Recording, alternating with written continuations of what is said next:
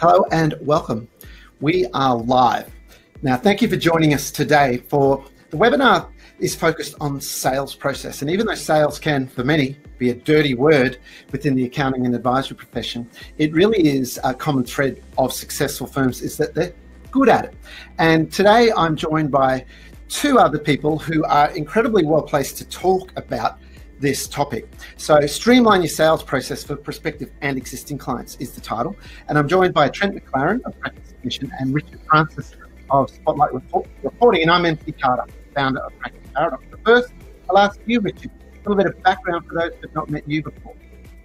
Thanks, MC. Yeah, most of the people on the webinar probably know me as CEO of Spotlight Reporting, uh, Xero's number one reporting and forecasting app. But uh, back in the day, I was a uh, CA doing advisory work, both uh, for a big firm and then for my own boutique firm here in NZ. So, yeah, I've been in the trenches probably for 20 plus years now.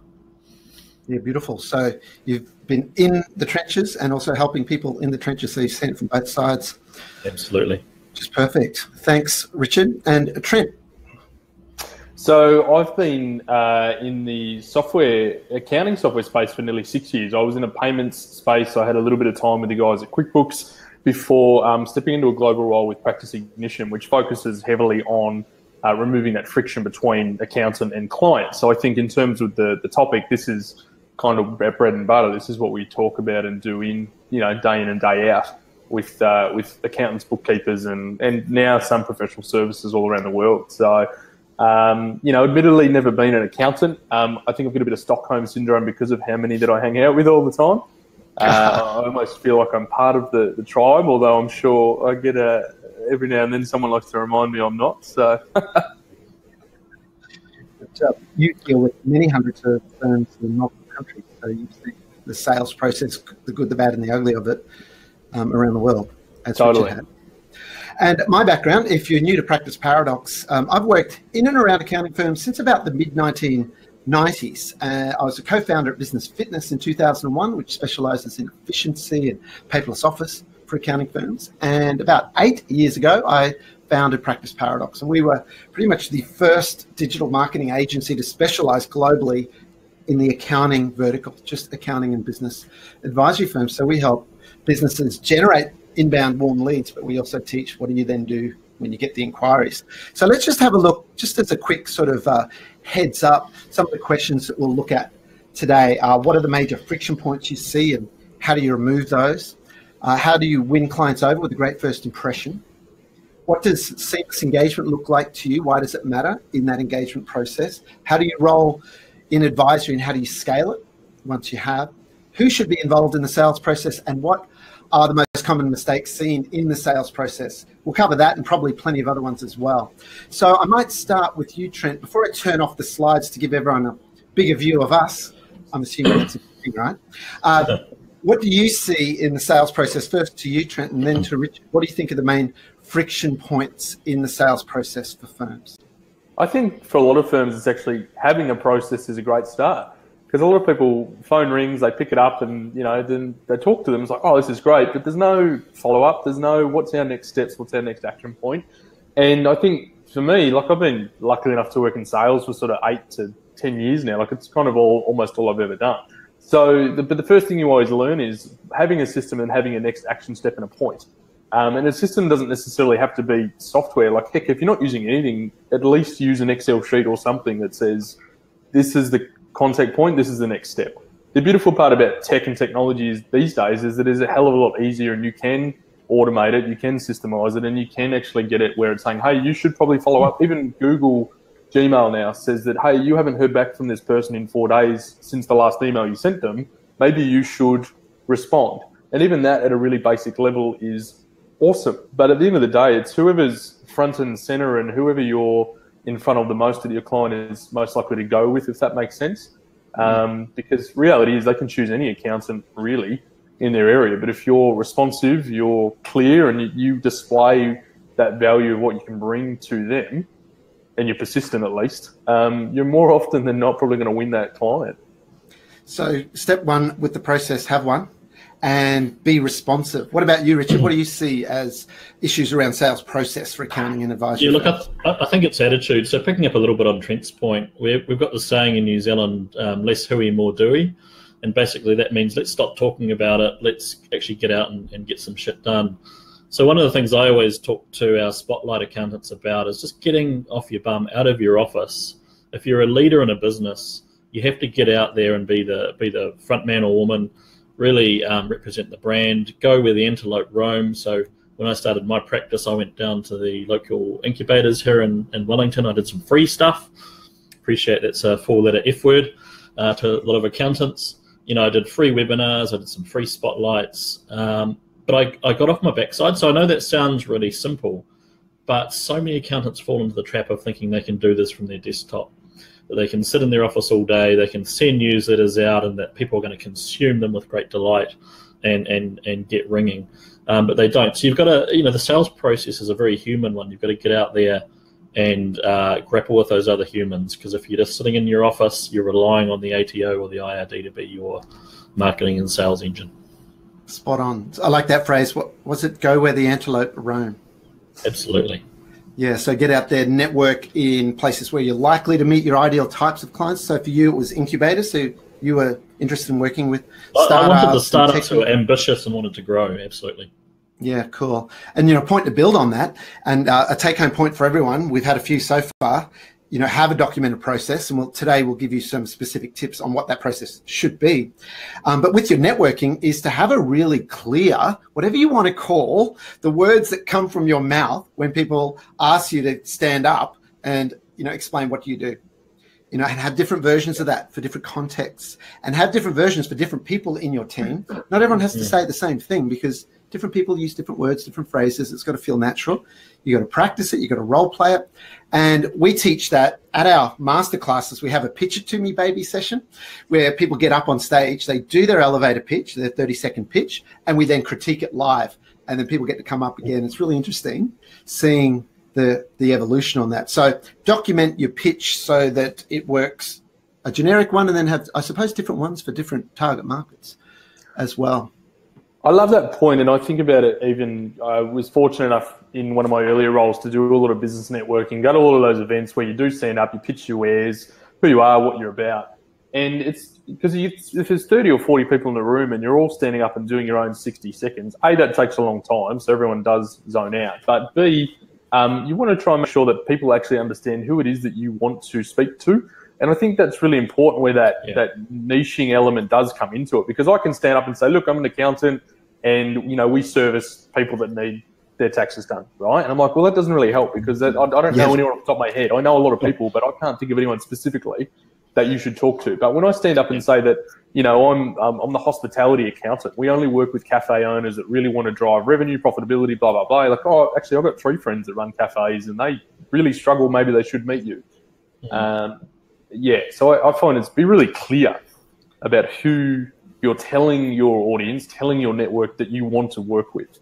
Yeah, the power of that specificity, isn't it? Like, be, be, prepared to ask. I think there's a little bit of a, an Australasian thing, probably slightly less in Australia, where you guys can sometimes be a little bit more up the guts than we are. Um, but you know, being afraid to ask what you actually want. So if you're going to get out there and network, um, and I, I, did this just to share a quick story. When I started Francis Consulting, having been in a big firm running their advisory, so I had I had um, a family by that stage. I had mouths to feed, so I had to get out there and sell. You know, there was no option. I wasn't I wasn't sitting around and waiting.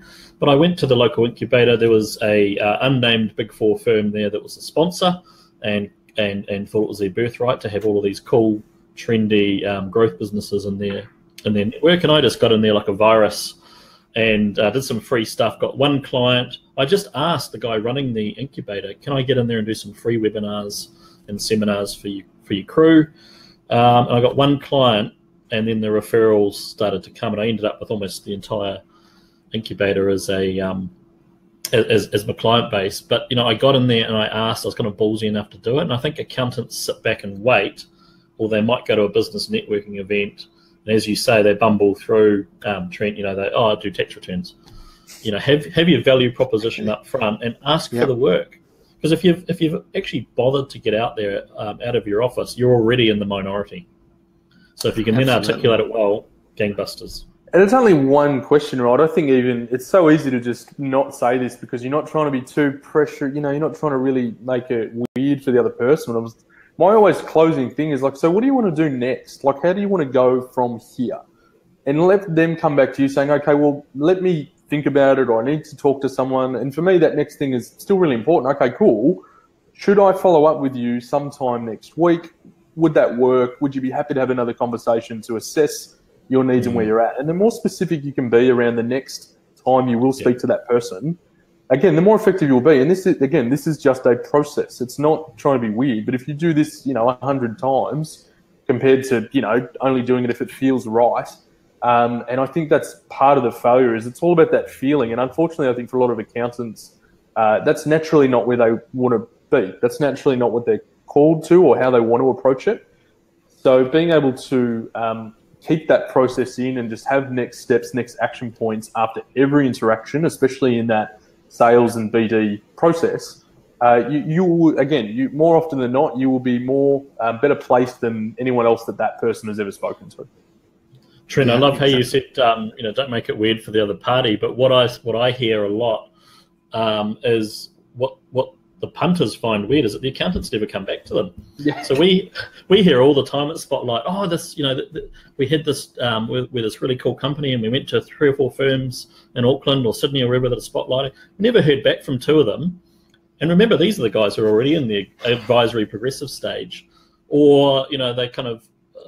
I, I was made to feel like this lead I'd given them was, you know, disrupting their tax return uh, trajectory, and you know they'd get back to me in two or three weeks. So I went with the person who got back within 24 hours, so someone who's mm-hmm. got a process, um, and who was prepared to sit down and listen to me. And so there's so many accounting firms that may have even made the effort to go out and network and get that initial lead or had that great chat, and they never follow up. Absolutely. The bottleneck issues. I've seen some, um, you know, very high profile firms that we've worked with over the years, and we've identified there have been bottlenecks starting, ranging from just taking that first call like just getting back on the first contact because the partner or the principal has to do that conversation, which is untrue. And I'll share some of our methodology on the front end of the sales process today.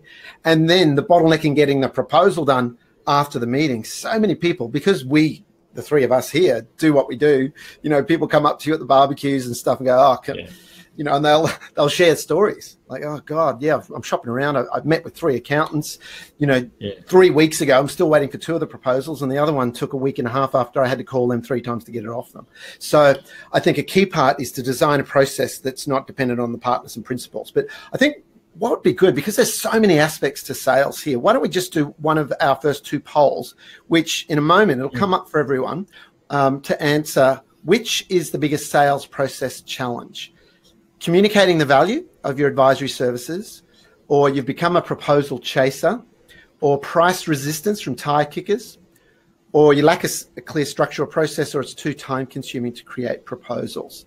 So I've just published that. And if everyone could uh, move their mouse and actually vote on this, I'm a little bit of a poll Nazi. You're allowed to say Nazi these days? I'm not sure, but I'm going to keep going I, I um, until maybe occasionally. Yeah, not, not, maybe not in public in front of people. Um, oh yeah, oh, oh, yeah, we're in front of a few people. Okay, so we're seeing the results come in uh, live as we speak. So guys, participate in the poll because we, this will enable us to um, just tailor what we go to. So the leader, the early leader at the moment, is communicating the value of our advisory services. So once most people have voted, I'll then share the results with everyone. Mm. But Richard. Um, what would you say around communicating the value of our advisory services? What are some actionable tips on that front? Yeah, it's, it's interesting that we put it in the context of us having to communicate the value, which which I get, but um, certainly the approach I always took was um, in having my free session with the with the potential target uh, was listening, taking notes, and and really just absorbing what they were trying to achieve with their business or their family group. So I tended to start right at the beginning with a wider lens than many accountants. Um, and I actually found that during that, it was always an hour, the customer or potential customer would actually start selling my services back to me. So, you know, we've, we've, we've really lacked structure and focus. Uh, we don't make enough money etc., etc. You can see where it goes, and you can start weaving in um, I suppose, solutions to that. And then when you go back with the proposal, or even do it um, live. So I used to. Uh, this was pre practice ignition days, Trent. So I didn't have the um, uh, the advantage of being able to use a tool like that. But you'd actually start building out a, a menu with that customer and give some indicative pricing there. And uh, sometimes I'd give a couple of options, or or even back in the day, as, as horrible as it sounds to say, the bronze, silver, gold options. But I I think the big mistake accountants make is talking too much. If they listen more uh, and they seek to understand the goals and the drivers of the person they're talking to, half the selling is done by the client. Beautiful. And it really is when sales is done well, no one feels sold to. If anyone feels sold to, that's a sign that the person isn't actually skilled at sales. It's a conversation process. So yeah. I'll give everyone another take home. With your team, brainstorm on a whiteboard, flip chart, all of the questions in a conversation that you actually are interested in knowing about a prospective client. Some of those will be factual things, you know, hard facts, numbers, dates, years, etc., amounts, and others might be more, uh, you know, emotional ones. You know, what's driving them, what's triggered this change, etc. And brainstorm all of those out and document them, mm. and then they can actually um, be a basis for training, role playing. Make sure when you do role plays, guys, um, within your firm, you have someone who's pretending to be the prospective client, someone who's the advisor running it, and video them video them because if there's a really good role play, that was great. The way you ask those questions, the way you use those question softeners in the leading before you ask those questions was great. That can become a training video. You can put it into your wiki, into your intranet, and then then use that. So yeah, absolutely. Questions, questions, questions. When I, when I started Francis Consulting, guys, I, I can remember so many times getting clients off other firms, uh, and people would say to me, "I've moved to you because other firms don't do that." And I was doing business planning and all those other things, and they're all they're all services offered by those other firms, but no one had sat down and listened and actually twigged to the fact that this was what they needed. Not you know, accountants are like this on its numbers, accounts, tax return. If I'm really asked, I might do a forecast or a business plan, um, and that's because they're not listening; they're talking. Let's just have a look at the uh, the poll results now. So communicating the value of advisory services out and out winner there at 64%. Uh, second, lacks a clear structural process at 18%. Third, price resistance from tire kickers, which is interesting. A little bit of a loaded question, that one. Because um, I've often heard people say to us, oh, my clients, they just don't get it. I spoke to them about insert value added optional service here. And, you know, they're, they're, they're uh, price sensitive. They just don't get it which is advocating all responsibility for being able to communicate the value. So clearly, if everyone goes, how can I get better at communicating the value? It's not the client's fault. It's the advisor's role to educate them about it. So that's a good step if everyone takes that. Um, you know, control the controllables. You can control your communication skills. You can't control the client. Yeah. I love that saying. It's always control what you can control, and the rest of it, if it's out of your if it's out of your reach and you can't do anything with it, then why are you worried about it? Like, why is it something that really drains on you. But if you can impact it somehow or influence or whatever, that's good. But don't bother focusing on something that you literally cannot change, do, or adjust. Mm. Um, but it's not surprising, like to see that communication is the leading driver because that is something that, again, as I said, not everyone, um, you know, woke up one day and was able to just speak and chat and do everything that they need to do, or being able to articulate um, exactly what they do. And I think we, you know, there's a point that came up, I think MC or Richard, you said earlier about making it simple in layman's terms and being able to really translate exactly what you do uh, in a way that a client gets it and understands, uh, as opposed to the mumbo jumbo of. Absolutely, I think I think if we listen, we filter and then echo back. That's half of the battle. Um, the tie kicker one's interesting. I mean, I've got really limited um, sympathy for that, to be honest. Um, we we all have 24 hours in the day. If we're talking to the wrong people about the wrong services, have a look at who you're attracting and why. I mean, we had a pretty tight acceptance checklist at, at Francis Consulting. We we were you know you got Spotlight as standard. You get you got monthly mentoring, got a business plan, got a forecast, which is what I think is a bare minimum a proper advisory accounting firm should offer. If you didn't want any of that, you didn't want to invest in that. I had a guy next door who was a compliance jockey, really nice guy. I used to give him those clients who didn't want to invest and he got the ones that were really scary. He wanted the services that he didn't provide. So you can set up that kind of relationship with other accounting firms rather than always going at loggerheads. But the profession needs to get beyond thinking that everyone with a wallet and a heartbeat is a potential client. Totally. Absolutely. Yeah, I And before you mention the phrase um, value proposition, which I'm passionate about that, and we're passionate about teaching accounting firms that because your value proposition is in a nutshell why people should choose you. And people get it confused with, oh, yes, we've got that. And then they show them to us, and it's their client selection criteria. And it says, you know, businesses that have X million dollars in revenue and this many employees and this many years in business, and they're good payers, good listeners well, get in line, everyone. like, who, who doesn't want that? That is, from marketing perspective, of no use whatsoever. So, with your value proposition, the structure is what are you doing for whom? Another supporting statement, and just three core benefits. And benefits are the end results that you help people achieve. It's not naming your services or what you do, it's what you help people achieve. So, um, yeah, that one always am- amuses me. Let's um, go to the chestnut that people think, oh, you're either a born salesperson or you're not. You know, you got the gift of the gab, and we've just uh, talked about it's not about talking. What do you guys think about that? So I've got an interesting one. I used to manage um, and work in retail for quite a long time, and this is where my gift of gab came from because all you're doing is chatting to people every single day.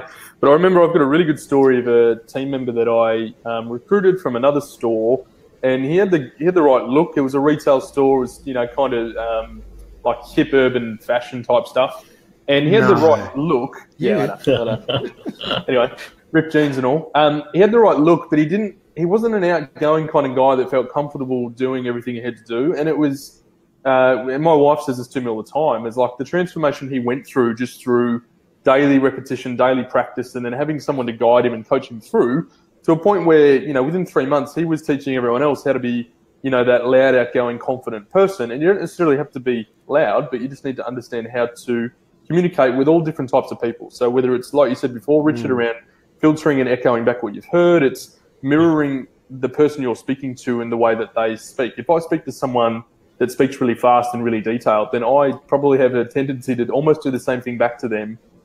Uh, in a sense, because it just that's how they operate. When I speak to someone who's a bit softer and withdrawn, I will slow down and communicate with them on their level. And I think that's half the battle. It's just about knowing how to read the other person and communicate back with them how they like to be communicated with. So it doesn't matter if you're not born with the gift of the gab. You're like I've, I've said this before. Like you were a really bad accountant or bookkeeper when you started, and you may still be today. But with time and practice and making a few errors and mistakes, you got really good at it, right? And communicating your value to clients is just about repetition, and it's just a process. It's something you can learn as long as you try and fail a couple of times. Like you're going to suck at it until you stop sucking at it. Do you know what I mean? Hmm. Yeah, to me, it's a it's a skill, and there is a natural aptitude element in there somewhere, just like there might be at a particular sport or singing or a musical instrument. But everyone can learn the basics, and there is a structure and a science to the psychology of it. Conversation skills can be learned. One thing that I'd recommend to everyone, um, at the end of the day, this a belief that I have is that when people buy advisory, they're actually buying confidence they're buying the confidence that they are perceiving that you have that you can lead them to a better place. So if they don't um, pick up, and that doesn't mean being arrogant or like um, overtly confident, but they need to feel that you know what you're talking about. And I think the easiest way to build confidence for most people is just learn how to stand up in front of a group and speak. Join a local Toastmasters group, go to Toastmasters a couple of times a month, get up there and practice. And then all of a sudden, the next time you're in a sales meeting with a couple of people, um, you think, well, last Wednesday night I was standing in front of 20 people. It really, I've seen it time and time again. We encourage our team members at Paradox to join a local um, uh, chapter of their Toastmasters, and it just oozes then through to one-on-one conversations. It's not the be-all and end-all, but I think it's a good um, uh, help for a lot of people. You're right, MC. I think one that as soon as you say join Toastmasters, I think you scare half the audience off.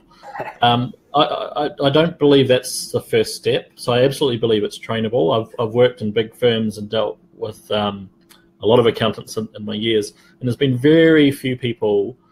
There have been some that have, have had to be hidden out back with the 20 watt light bulb and you know just left there. Um, but one on one, teach people how to relate. You know, people and in advisory, they're buying you as much as your service offerings. You know, mm. they're buying that empathy, they're buying the experience and expertise. For your team role play, so um, our good friend Steph Hines, as you know, she does a lot of role play. She carves out time every week to do this. Um, I wish I'd done it actually with my team. Um, so she was, she was a step ahead of me there. And they sit down and they diagnose the client uh, and they look at the spotlight and how they would talk and they bounce things back. So I think just train you, your team and yourself to get out there and talk one on one. And and coming back to one of Trent's really early points, if you have a process and a few scripts and a few questions that are your go to, um, and you're prepared to listen, you know, you'll, you'll actually pick it up. And most accountants, um, well, not, not most, many accountants I deal with aren't naturally charismatic Carl, but they can hold um, and, and, and know that they need to hold meaningful conversations one on one or with a family group. Uh, the whole stepping on stage bit is the whole other kettle of fish. Yeah, absolutely. It's a, a huge step. What's the line about? It's the uh, biggest fear um, yeah. in life in the book of lists. And as Seinfeld right. says, that means the person giving the eulogy at the funeral would prefer to be in the box. Which cracked me up. I watched that episode the other night. oh, did you? Yeah. So um, let's talk about the front end of the sales process. And let's uh, assume you're getting inbound leads. And the first thing I want to just quickly mention there is that if you're getting price sensitive, what you perceive a price sensitive tie kick is not interested in advisory, you've got to go upstream and have a look at your presence. You know, how well are you communicating value in your marketing material on your website, not just the homepage, but the service pages, blog posts, your social presence. Because when you do that well, you'll attract people who are looking for advisory in the first place. And then your marketing machine, when you do content driven marketing, can pre educate them about some concepts that will um, twig with them. And you mentioned Steph Hines of Growthwise earlier, Richard. I remember um, she was the first graduate of our training program on marketing when we started many moons ago. And she was telling a story in group once where a new client just signed up, signed up to the whole, you know, full service with monthly advisory services. And Steph said, Oh, I forgot to ask you earlier, how did you hear about us? And the client said, the brand new client said, Yeah, it was a blog post I read um, about nine months ago now about how for a small business, the number one asset is data. And I thought, that caught my attention because I thought, what's an accountant talking about an asset like that? And it was about the cloud. And it was, you know, back then mm. the cloud was very new. And she said that really stayed with me and opened my eyes. So then that person read more blogs, more blogs, got on the email newsletter, learned about these things. And then by the time Steph spoke to this person, Steph's already perceived in their eyes as, you know, you've already taught me stuff. You're a guru as, as far as I'm concerned. And they're just ready to talk about advisory rather than, you know, that cold lead, that referral who sits there and go, okay, you know, sell yeah. me. As you know well, MC, um, from your background and the services you provide, you can self, you can you can get the right people through the funnel. They can self-select. I mean, we called ourselves Francis Consulting, which sounds very grandiose, and consulting wasn't such a bad word back in those days. Um, and we actually had our whole chartered accounting thing almost a bit hidden. So it was all about business growth, profit improvement, family group, da da da da da. And often we had people say, "Are you accountants as well?" Um, so I probably overdid it slightly. Um, mm. But but when you come into all those um, accounting websites, and the first thing you see is tax returns, PAYG, super. You know, you're almost asleep by the fourth point. Um, and you're going to get the people who are going, okay, I want this is a commodity shop. I may as well compare them to the commodity shop up the road. Um, exactly. So you, have already lost the battle if you've got if you've got advisory hidden on the on the fourth click. Yeah, and speaking about the, the, website impression, a classic sign that someone isn't clear on their value proposition is their website has what's um, sometimes called a slider or a carousel, where there's a message and an image, and then five seconds later it changes to another one, and then five seconds later it changes. Uh, that's mm. been categorically shown to hurt the effectiveness of a website in generating leads. It's just proven. And imagine if, you know, one of these networking breakfasts, someone got up and every 10 seconds they kind of stopped short of what they're saying and then started on another angle. You'd think they had some sort of disorder. Um, so, you know, people should get super clear and just have a very strong, this is what we're doing for whom, bam. But back to the front end of the sales process. When, let's say a call comes in or a contact us inquiry through the website, Trent, what's your view on who inside a firm should handle that in what situations? So it depends on the structure of firm. It depends on how big you are. Like if it's just you or a small dynamic team and you've got you know junior staff and you're the partner, then you might take that call, or you may have your team do the profiling questions because it's you can educate anyone to do that first piece, document it, put it in something CRM, note, any, anything that you can just track. Who is this person? What do I need to know about them? And then decide whether or not you can schedule a meeting with that person. It could be in real life. It could be on Zoom I, I find whatever works for you. Uh, I do a lot of meetings on on Zoom these days. I'm comfortable with it, and we've done a lot of really good business through it as well. And that's just the sign of the times, I think. Um, but some of your clients may not be familiar with that. So it's about understanding what will work for them and what they're comfortable with. Um, once you've done that, again, it's about having that process. So for me, I always go, cool, we've met someone, we qualify them. Once we've qualified them, we'll book them in for a um, maybe a bit more of a scoping discovery call, learn what their needs are, their problems are, and, and how that gives me a better idea on how we potentially can help them or who else I know might be able to help them. Uh, and then from that, we'll try and list out a plan. This is exactly what we think we can help you with and where we see your future with us. So you're kind of giving them that um, plan. And I think that's, you know, um, Richard, you'll, you'll probably answer better than this than me where you start rolling in all the other things you can do outside of what they came to you for because they're coming to probably for maybe it's compliance because that's how they've heard of you maybe you're doing a really good job of advisory with other clients and that's why they're coming to you so i think it's also important to know you know how they found you why they're contacting you um, and going through those stages and if you've got those stages clearly labeled like i look at everyone i've got in qualification meeting book demo books whatever and that clearly for me knows what my next actionable step is before I know that a sale can be mm-hmm. can happen or a client actually becomes a client. Um, and, and, it's important, I think, to have a structured process like that because uh, it keeps it real and front and center with your client as well. It's not just it's a good to have an easy conversation with someone. It's comfortable, but at some point you do actually have to sign the dotted line and become a customer. And I think the more you have that structured process, you'll clearly see where people are in your funnel, if you want to call it that, or your sales process. Um, okay. So it's a yeah. good point there. Smaller firm, obviously, when you're starting out, you handle the inquiries. But as yeah. a firm grows, that's an option. What's your view, Richard? If a firm's larger, should it always be the principal uh, handling that first inquiry? Uh, no, it doesn't have to be. And, and ironically, often big firms are set up with um, a whole uh, cohort of Rottweilers who actually try and keep the humans out of the business. So you have all these PAs and things clustered around partners It always used to amuse me though. All the all the people we were most scared of in the practice. And um, you know, if someone called up, oh no, you know, because they're very busy, important people, you couldn't actually penetrate the machine to actually, um, you know, to pick up that lead. So I, I'm sure a lot of accounting firms lose a lot of business by having this "we're too busy to talk to you" mentality. So I do think it's really important that you have team leads or managers who can uh, follow the process that, that Trent's talked about um, one thing I learned because when I ran my own practice, you know, it was easy. It was just either me or, or Julie, my wife, who um, was the other partner, uh, who would take the call and, and, and kind of action things. But it comes back a little bit to incentivization as well. I think accounting firms are really poor here. And uh, one thing um, we did, um, not as successfully as we could have, but it's, it's certainly coming into the profession more, is having – uh, people incentivized to take leads, triage them, and do the sale kind of end to end. And I think that's your kind of your team lead, aspiring people in the, in the business, um, and incentivize them to do that. Because otherwise, why would they? You know, they don't care. So I learned that in the big firm. I kind of tried to set this uh, process up, and they uh, the partners weren't keen because, of course, it meant coin going out. But what I missed was that the team leaders didn't want it because it was giving them if they actually sold something, they had to do more work. so you got this kind of weird thing going on.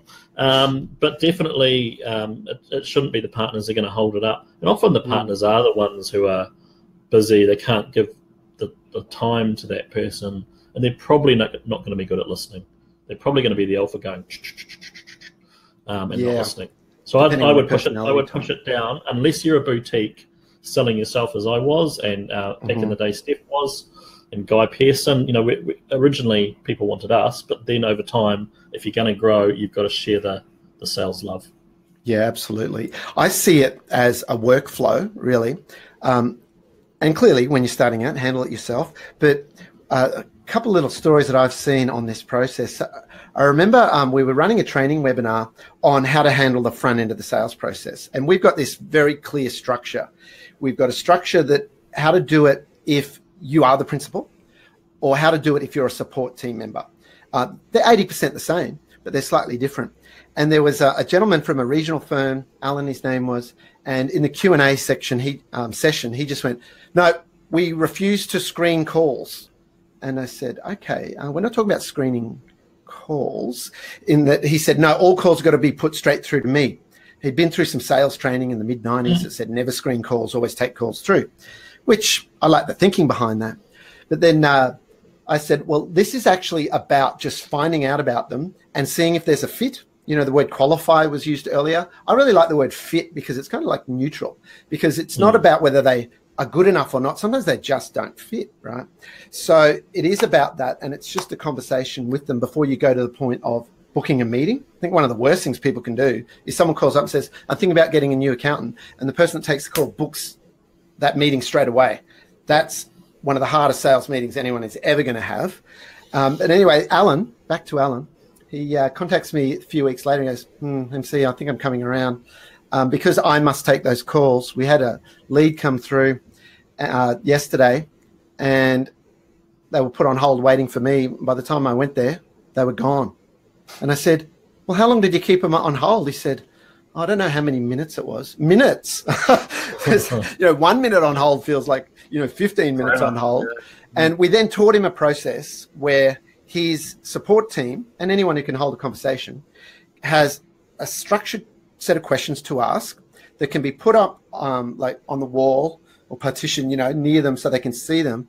But also you put fields in your CRM to just quietly enter the answers to those questions. Like how did you hear about us? And can i ask you know why are you looking to mm. switch accountants? And uh, so are you in business and how long have you been? There's a whole bunch of factual things that by the end of that conversation the person calling thinks that they've just had a good chat but it's a really good brief and you can establish fit and when the other person who's not the advisor takes that call it, it allows them if it's done well to position that advisor really well for that meeting so not everyone has to do that way, but we find, particularly if the partners are bottlenecks, if you can train up a mature team member to handle those inquiries, they'll in many ways handle it better than an advisor who might also fall into a common trap of advising off the cuff on that first inquiry. It's it's really important too um, in the in the really early stages of that call coming in or the or the inbound off your website to not prejudge. Um, I had a really good question the other day on another webinar I did about what do you do with all these micros that come in. Um, my whole practice was built on micros. You know, I went to an incubator, and they're all startups. And okay, I had to discount and do you know do some free stuff, but it's about attitude. So I think triaging for the right things. So, therefore, there is some training around getting the right questions and the right people across this. Because if you've got a startup with not much money, but they have an ambition to be a worldwide, um, you know, phenomenon, or the best of breed in their country, you've probably got someone who's really well placed for advisory right from the get go. They'll need a business plan, they'll need a forecast, they're probably going to raise capital, etc. So, one of the other things I do find accounting firms misjudge is, um, you know, they, they will often gravitate towards a conservative family group who, who are who are cost conscious and stuck in their ways rather than the young squeaky startup who ultimately could be the next big thing. So. Yeah. I've heard it before as well. Like at some point, you know, your clients might be micro, but you could be the difference that actually allows them to be, you know, A grade and B grade clients over the space of a couple of years. So even um, like you kind of need to qualify them yourself to gauge where they're at and whether if they're the type of person that you can work with, where you can help shape, mold the, the direction and future of their business. And I think even for me, I get a, I'm sure you all you do all do as well, but like you often get random inquiries on LinkedIn about a whole bunch of stuff some of it might be junk, and most of it generally sometimes is. But I generally will always take the time to respond back to most of it, just to really pressure check and gauge what it is before I discount it. Because it's very easy because of how much crap does come in that I automatically think, oh, this is going to be rubbish. But the amount of good things, you know, you kind of have to sift through to find the gems every now and then. You can't do that if you have a blanket approach to all of it. Um, yeah. So I think that, that qualifying piece is really um, cool, and that's something that anyone can do. It's just you know, tell me about your business. What are the challenges you've got? How did you hear about us, or why you know why are you coming to us? Those three questions really quickly, will help you put that person into one form of a bucket. Mm. Um, and I think within that, you'll have then a good strategy or, you know, show on, okay, cool, well, this is what we've done with other people. Um, this is what we can do for you. You know, are you interested in having a, I don't know, 15 to 30 minute uh, consultation with our partner, a specialist or business consultant, whatever it may be? Mm. Um, we, we had a guy who came to us um, kind of a he's a lovely guy, but a bit kind of bumbling personality. And he started this business, and it was kind of going nowhere. And we gave him some advice. We, had a, we kind of had him on for a couple of years, and I reckon a lot of firms would have turned him away. He didn't give off the right vibe, a little bit cost conscious, etc. I read about him the other day, literally two days ago, on on um, on the internet, and he's in the states running a hundred and thirty million dollar business. so, oh, shit. Um, and and they're, they're out there, eh? And I think um, a lot of it is, you know, God, take that call, um, triage it right, you know, dig, dig, dig down, ask the right questions. And I used to ask open questions. So where, where do you want this relationship to go? Because I'm all about having a strategic relationship with my clients. That's where they go things like, actually, I'm moving to San Francisco in six months to do X or Y.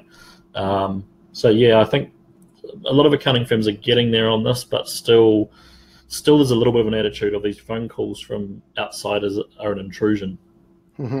Yeah, yeah, seen as an interruption rather than an yeah. opportunity. And how lucky yeah. are we in business these days that you know when someone makes an inquiry, and often these days it does come through like a contact us submission, right, through a website for a lot of firms. You've got their email address, you've got their name. It only takes ten minutes to Google them, have a look through LinkedIn, see their work history, and yeah. enter all of that into your CRM in notes. You know, have a field in your CRM under each contract record for you know their LinkedIn profile link.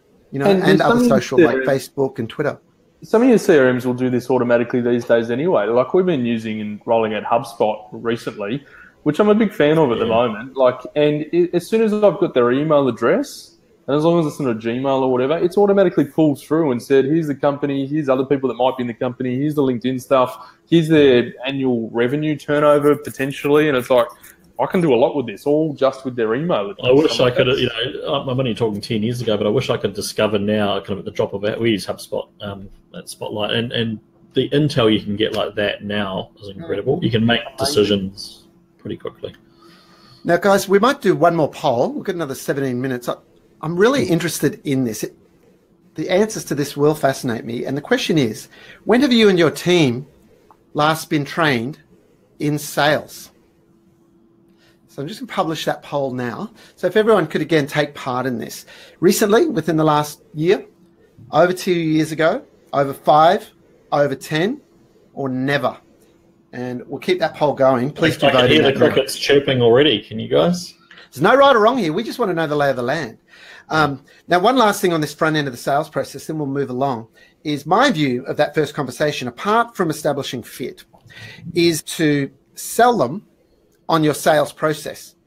And I'll just explain what I mean by that. You don't use the word sales process, the phrase, but your goal of that is to let them know what the next steps are. Because when someone's buying professional services, in their past, it might have been like buying this amorphous blob of help, this ticking clock, like it didn't have any structure around it. And structure really does comfort people. So, what we teach people in that first conversation to bring up during uh, you know that conversation of questions is to say, by the way, if after this initial chat we think it's worth going further, do you mind if I take a moment to explain the three-step process that we guide people through when they're thinking about working with us? And if you need to put a name on it, we use the word evaluation process. So to evaluate a fit and then explain what those steps are. That works really well because people go, great, they want to follow that. I never explain it in any more than three steps. And then the next step is to, my view, and it works extremely well, is to get them to do a quick diagnostic after that call, but before you meet with them. Um, we've taught many firms uh, how to do that. And that allows you to it, impresses them with the technology because you can embed a web form from HubSpot, Infusionsoft, um, Active Campaign, whichever CRM system you're using, onto a branded web page on your website that people fill in. They tell you all sorts of information, and they finish that and they go, "Well, these guys are pretty tech savvy for starters." And hey, some of those questions were pretty interesting. Then, when you have the meeting, it allows you to talk about that information and the gaps between where they are now and where they want to be, not to go into a fairly common in my experience, approach to sales meetings where the advisor is trying to impress them with how smart they are and their tax structuring advice. And I've seen people shopping around for accounting firms get advice on the whiteboard off on the fly with all of the diagrams about the different companies and trust structures. And then they think, I wonder what the next accountant will advise. And you just turn them into like structure shoppers, which is tragic in every way. Um, so, what's your view, guys, on having um, that process of gathering some more info after that? After the first chat? I think you're going to go through that process if you obviously you see a potential there, and it's just I think if you're trying to request more information, it's so that you can make better assessment and better judgment on who they are and where you think you're going to help them. Um, obviously, not going to request it if you don't think they're a good fit or you don't think you're going to help them with anything. Oh, sure. Yeah, that's assuming you've both established that it's worth exploring it further. Yeah, and I think um, realistically, you're collecting that information to make your onboarding, if they do become a customer, even easier again because you're saying, okay, cool, you know, knowing that I'm going to need X, Y, and Z, you can start to build systems around that because that is repeatable, um, easy, and can be managed um, if you do set it up properly. So um, it just, yeah, like I said, you're requesting more info because you need you need it before you can make better judgment um, on what you're going to offer and bring to their business. Just my view, I guess. Sure. Richard? I, I didn't take that approach really because I found if, if there was any steps that relied on the client coming back, homework, so to speak. And I know that's not quite what you're talking about, but I mean, I, I would I would ask the questions and try and get that fit sorted and, and the triage done pretty quickly, and then um, you know impress them by a fast turnaround, and and normally have a coffee. Um, you know, it's a slightly different world. You know, we were much more kind of local even ten mm. years ago than we are now. Um, obviously on Zoom or something as well now. Um, but I would find that personal rapport was often quite important. So if, they, if they'd got, got through the right hurdles from the questions, we could help. And it was me, I'd, I'd go and have a coffee. And I wouldn't, I certainly would be really careful around that because you, you do definitely get those ones who want all the advice in that first hour and you'll never see mm. them again, I think. Yeah, absolutely. Um, yeah, so um, I, I just, I think anywhere where there's something that will slow the process up, allow for me, speed was actually important. Other accountants mm. will get in eventually. They might take a week or two, but if you've given someone lots of homework to do, um, web forms are obviously a lot easier now. Um, that could be a point of friction. So yeah, not sure on that one. Mm. Well, um, it you need to. My view on it is test it. Um, not every process works for every firm. But when it works, in that first conversation, you basically explain the benefits to the person of doing it before the meeting. Because you say that'll allow us to really hit the ground running when we're together and really drill down into the core issues straight away. So you've got to sell them again on the benefit of doing it. Yeah. Not if they see it as work, that's obviously a bad thing. But um, you know, there's a firm, uh, Ben Walker in Brisbane. His firm's called Inspire, yep. Inspire.business, and he came to us. He he's been through our marketing training program, as has Harvey um, Penne there, uh, when he was with Change GPS. And he said, MC, we put out six proposals last month and we haven't converted any of them. We're calling them, leaving messages, emailing them.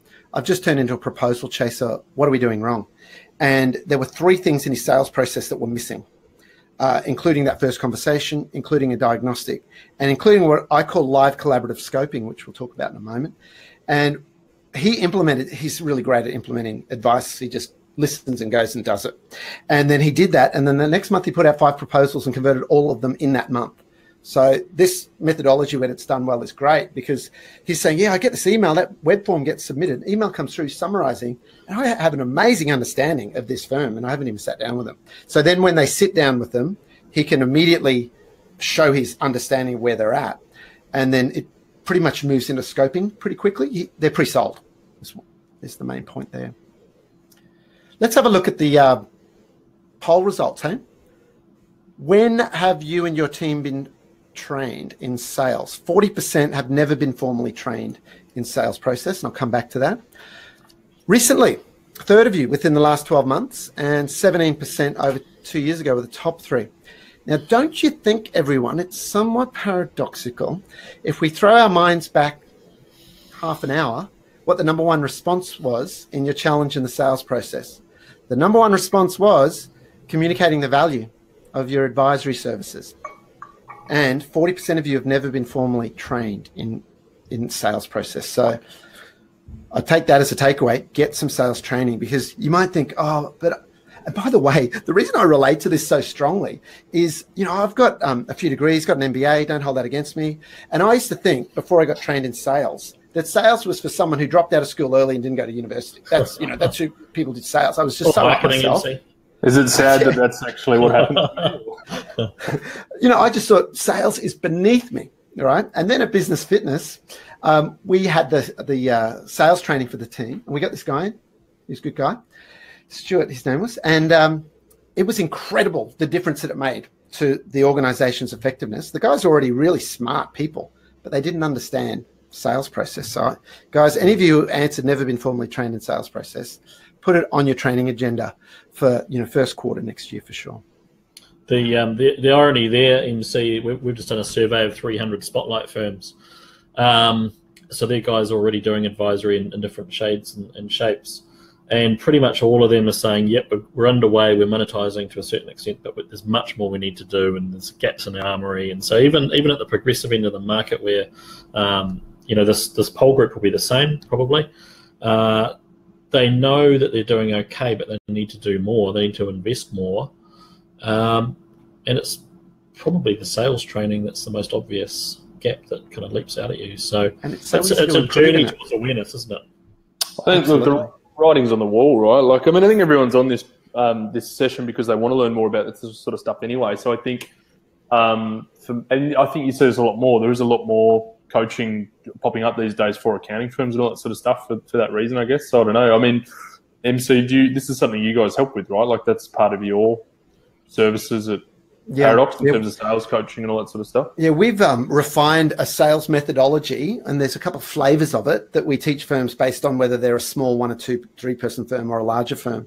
So yeah, we've got um, Nikki Miklos Woodley, who's one of our preferred partners, and we run a masterclass, a two day workshop on sales process once a year, and we deliver it online on demand whenever people need it. Um, I've just had a look uh, in the, the chat area, and let's just have a look here. Um, Peter said, Am I alone in finding role play with peer group harder than one on one with clients? yeah, yeah, can feel a little bit uh, uncomfortable, but I think once you do it a few times, it becomes normal. Just buy a tripod that stays in the office that you don't take home for the kids' sport on the weekend because then when you turn around to go use it uh, in the office, it'll be gone. Um, and just get used to videoing uh, role plays. You know, at um, one firm called Change Accountants and Advisors, we helped them from startup when they split away. They were a two partner firm. Timothy Munro started out fresh. And we trained, her name was Aston, and she was their client services coordinator. And we role played how to do the initial needs analysis, which is the structured first conversation. We role played it and we role played all of those questions that people think are objections, like what's your hourly rate? Like things like that are actually a buying signal, and prospects often just don't know what else to ask. So we role played all those hairy questions, and we role played the structure, and we role played her selling me as the prospect on the next step, two steps in the process, and videoed it, put it in the wiki, and then she was handling it. And why we did it with her is Tim had become a bottleneck. He was one of the people that um, had the mess- phone messages to get back to, and then they were. To me, a sales lead's like a loaf of bread. It's fresh for a couple of days, and after that, not so good. Absolutely. The whole role play thing is interesting. Um, again, coming back to Steph, she normalized it, which I think was a genius. I think doing it every route, every week, just as part of what you do, uh, was really cool. I mean, at, at Spotlight, we have this customer success cohort that are all really experienced people in the industry who go out and work alongside our Super VCFO subscribers, and we do role play. And um, I unashamedly take the role of the grumpy accountant. Many of my team, of course, think I am a grumpy accountant anyway. Um, and, and, and, and, I, and, yeah, and I ask all the questions and, and you know really keep them on their toes. And we have other people in the business who do that too. Um, I just I think it's a great way to do stuff and feedback and really support your team because you're although it's a bit awkward and a bit uncomfortable, you're also removing that fear that we talked about um, at the start. You know, the worst fear in the world of of kind of interacting with groups of humans, and so yeah, it's just practice, isn't it? So um, absolutely, you need sales training, and you should um, in, invest in the right externals to come in with a fresh view. But role play is something you can do internally. Yeah, beautiful. And uh, we've also facilitated with firms in other sorts of advisory meetings where you're explaining, you know, a particular strategy, like how to buy property through certain entities, or whatever it might be. And then the most experienced person in the firm gets videoed and then everyone watches that and then they review it and then they have questions. And often the principal in the firm comes back, I can't believe I got asked that question. Because when someone's really experienced, they assume stuff. It's actually mm. a phenomenon in uh, knowledge management called the curse of knowledge. That when someone's really experienced, they're often bad at training it because they just have this intuition, they have this experience, or they've got something that they learned 20 years ago that they've now done so many times they don't even think you need to teach. You know, it's common sense, it's obvious. So the role plays are a great way. Memory, muscle memory, right? I think my wife always says practice makes permanent, and that's a big part of that, as opposed to makes perfect. It's like it just becomes part of what you um, do. And I, I, do it now. Like someone will say something, and instantly, depending on what it is, it'll trigger me to kind of pause and adapt. But doing it, you know, for nearly ten years, you can kind of do that really quickly. And a lot of people will kind of look at me like, "Wow, you you really jumped into that like pretty seamlessly." I'm well, again, if you've done this literally over a thousand times or whatever in the last ten years, um, you would get really good at it too. yeah, indeed. But you know, when you're experienced, you can sometimes wander away from what works. You know, you kind of can. I um say at my age, I've forgotten more than I know, sort of thing. in that you've got to have these systems to follow. We've got a tab in our CRM we use Infusionsoft, and it's called dossier. You know, meaning like a summary of the relationship. And the questions to ask are right there. So our team, like Alicia Edgar, one of our uh, digital marketing specialists, she's got pretty much everything she needs to ask, but she just has a good chat with the person and finds it out. Um, before we wrap, a couple of things. Um, and I see Trent, you've replied to Jason in chat. Jason Croston from SRJ, Walker Wayland in Brisbane is wondering, will wearing a black t-shirt help improve my sales process? I said yes, and then I said apparently hats can work too. So um, takes a couple of kilos off. I was told that's the only reason I'm. the way my hair's going, I might have to move to the cap territory, um, but may well do. Jason, test and measure and see how you go. Um, now, if anyone's got any last questions, feel free to type them through in that chat area. And what I'm going to do is just let everyone know about a training event. We're talking about training. And this is our next masterclass that's happening in about a month on the Sunshine Coast. Today, we talked about briefly at times value proposition. So, being able to communicate succinctly why should someone choose your firm in a way that's not saying we're different in exactly the same way all the other firms are saying we're different. Like, you know we're more experienced you know we uh, you know more caring yeah sure more dedicated all that sort of um, blah blah rubbish so we teach you um, how to get your message right and how to do blogging social media video and the like. So uh, that's just on screen where the polls were if anyone wants to click through and join us for that. Um, okay so any parting advice? I'll frame it up so you can each think this through. To everyone who's with us now what's one actionable thing that everyone can do in the coming week to a specific act, specific behavior they can do to improve their sales process or their sales results? I'd say, right, oh, yeah, you go. I was going to say, just just start with yourself.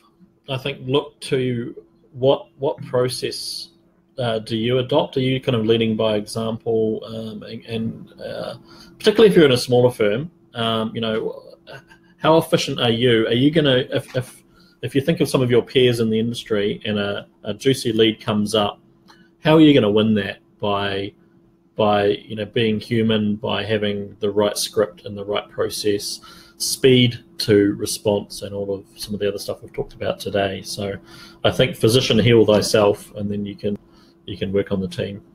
Good advice. Thanks, Richard. Trent. Um, I think it's important to map out what you think your sales process should be. If you don't have one already, I know I think you said you've got a template for this as well, MC, but um, just keep it really simple. Like client comes in, cool. What needs to happen next? What needs to happen next? And by what stage do you think they will become a customer? Uh, because then, uh, whilst it might feel weird and scripted at first, because you're trying to get them, it'll become a really natural flow uh, eventually, and you're just explaining, look, this is just how we we want to make sure that you're a good fit for us and that we're a good fit for you. So if you don't mind, I'd love to ask you a couple of questions about who you are and, and what the challenges are you've got, and then through that, and we do that by you know a meeting. We sit down, we talk about it, or, or whatever whatever it is. Um, so I think map out your current process. If you don't have one, chat to experts that you know. Um, again, I'm not trying to plug you too much, MC, but I'm like, chat to MC. They do this. this is what you guys do for a living. That's why we're here. And you know that's a great tip about documenting the process. Doesn't matter what it is. If it's three boxes joined by a couple of arrows right now, so be it. At least it's documented in a Yeah. central place. Hopefully, everyone's running some sort of cloud-based, you know, wiki or knowledge base where everyone in your team can see it. Just document it, and then you can just evolve it over time. Um, something that I'd just highly recommend everyone too is, you know, the reason we've got the three of us together is because Spotlight reporting helps you make the delivery of advisable very scalable. Many of our, members at Paradox are using it. And Practice Ignition makes that process of doing the proposal and the engagement documentation and then the transition into workflow deployment insanely efficient. Um, so, process is crucial, but then have the right tools as well. So, um, I'll start with you, Trent. If people aren't familiar with Practice Ignition, what's the best way for them to learn more or get in touch with you? Definitely. So I think um, check out practiceignition.com if you're not sure what it is. It's obviously been built by, it might not be obvious, it's been built by um, a cloud accountant, um, you know, pioneer like Richard, um, which was Guy um, Pearson. If you want to chat to me further about it, and I will genuinely tell you whether it can work for you or not, just trent at practiceignition.com is my email address. Send me an email. We'll have a we'll have a 15 minute chat. You'll go into my process where Yeah. I evaluate you and, and vice versa um, and and we'll go from there. But that's the point. I, you'll genuinely know within that first call whether or not something will work for you or not. That's my guarantee. Okay, brilliant. Thanks, Trent. Nice. Richard, Look, what's the best way uh, people can find out more about Spotlight reporting? Yeah, look, spotlightreporting.com. Jump into the Xero Marketplace as well. Look at us, look at the peer apps um, there. I'm really happy for people to reach out directly to me, richard at spotlightreporting.com. I've got great team members in Australia and New Zealand, um, you know, where, where people are listening to us as well. Uh, all discoverable on the website as well. And, and, and we have a process. Um, but we, no, look, we're really happy to talk to people and and help be that mechanism that uh, opens up advisory at scale um, for your practice. Beautiful. And guys, apart from the masterclass um, information you can see on the side of your screen, if you just want to have a general chat with us about either generating leads or converting them, so marketing or sales, just drop us an email at hello at practiceparadox.com.au and one of our digital marketing specialists will um, have a chat with you and then you can witness uh, our process and see how we do our uh, initial conversation. And just to wrap up, I can see that Rebecca and Alicia have both uh, said some actions they're going to do. Rebecca is going to finish her needs analysis question, and Alicia shared a tip. If your follow up sucks, do follow up Friday. Block out a time each Friday. Fortune is in the follow up. What a wonderful uh, way to end. Nice. So thank you, Richard, and thank you, Trent, for uh, blocking out time for today and in the prep. Um, I'm sure everyone's uh, got some great takeaways from this that they can put into action. And uh, thanks everyone for joining us today for this webinar all about streamlining your sales process. I'm MC Carter, and I've been joined by Trent McLaren and Richard Francis, and we'll see you for our next webinar. Bye for Thanks, now. guys. Thanks, Take guys. See ya. Ciao.